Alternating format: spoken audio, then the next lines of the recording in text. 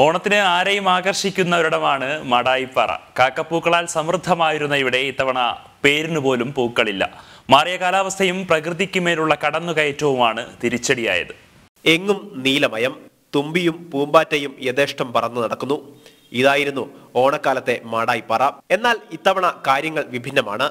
പേരിന് പോലും പൂക്കളില്ല. വറ്റിവരേണ്ട പ്രദേശവും കരിഞ്ഞുണങ്ങിയ പുല്ലുകളും മാത്രം. കാലാവസ്ഥാ മാറ്റവും പ്രകൃതിക്ക് മേലുള്ള കയ്യേറ്റവുമാണ് ഈ ദുരവസ്ഥയ്ക്ക് കാരണം. വിനോദസഞ്ചാരികളെ ഏറെ ആകർഷിച്ചിരുന്ന ഇവിടെ ഇപ്പോഴുള്ളത് മദ്യക്കുപ്പികളും മാലിന്യക്കൂമ്പാരവും മാത്രം. ഇവയിൽ മാറ്റം വരുത്തി അടുത്ത വർഷമെങ്കിലും മാടായിപ്പാറ വീണ്ടും നീലവിരിക്കുമെന്ന പ്രതീക്ഷയിലാണ് പ്രദേശവാസികൾ. ജനം കണ്ണൂർ.